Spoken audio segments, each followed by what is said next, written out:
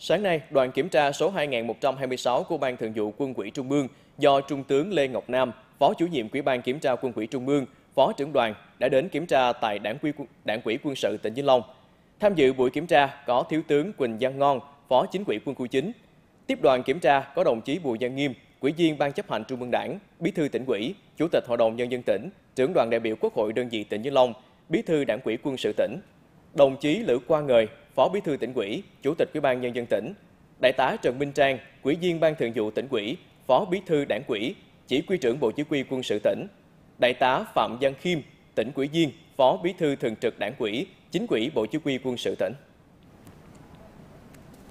Trước khi kiểm tra, đoàn đã đến dân hương tại khu lưu niệm Thủ tướng Chính phủ Võ Văn Kiệt tại thị trấn Dũng Liêm, huyện Dũng Liêm, khu lưu niệm Chủ tịch Hội đồng Bộ trưởng Phạm Hùng tại xã Long Phước, huyện Long Hồ và khu lưu niệm giáo sư viện sĩ thiếu tướng anh hùng lao động Trần Đại Nghĩa tại xã Tường Lộc, huyện Tam Bình. Những người chiến sĩ cộng sản trung kiên, học trò xuất sắc của Chủ tịch Hồ Chí Minh, nhà lãnh đạo có uy tín lớn của Đảng, nhà nước và nhân dân, người con ưu tú của dân tộc Việt Nam và quê hương Vĩnh Long. Đoàn đã đến kiểm tra thực tế tại Đảng ủy Trung đoàn 890, Đảng ủy quân sự thành phố Vĩnh Long và các cơ quan đơn vị trực thuộc Đảng ủy quân sự tỉnh. Nội dung kiểm tra tập trung việc quán triệt triển khai thực hiện các nghị quyết kết luận quy định hướng dẫn của Đảng, Nhà nước, quân đội, ban hành các văn bản theo thẩm quyền để lãnh đạo, chỉ đạo, tổ chức thực hiện nhiệm vụ chính trị và xây dựng tổ chức đảng.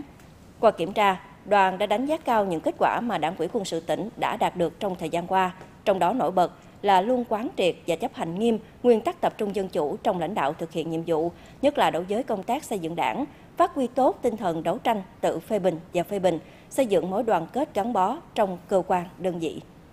Phát biểu kết luận kiểm tra, Trung tướng Lê Ngọc Nam đề nghị Đảng ủy quân sự tỉnh tiếp tục triển khai thực hiện có hiệu quả nghị quyết và kết luận của Ban chấp hành Trung ương về đẩy mạnh xây dựng chỉnh đốn đảng, kiên quyết đấu tranh ngăn chặn, đẩy lùi xử lý nghiêm những biểu hiện tiêu cực trong đảng, tiếp tục lãnh đạo nâng cao chất lượng, hiệu quả công tác giáo dục chính trị, tư tưởng, đổi mới nội dung, vận dụng linh hoạt sáng tạo các hình thức phương pháp phù hợp với từng đối tượng, cơ quan, đơn vị, tăng cường các biện pháp quản lý giáo dục, rèn luyện đội ngũ đảng viên, tập trung lãnh đạo nâng cao chất lượng hiệu quả tham mưu cho cấp ủy chính quyền địa phương, lãnh đạo chỉ đạo thực hiện nhiệm vụ quân sự quốc phòng, xây dựng nền quốc phòng toàn dân vững mạnh, khu vực phòng thủ ngày càng vững chắc.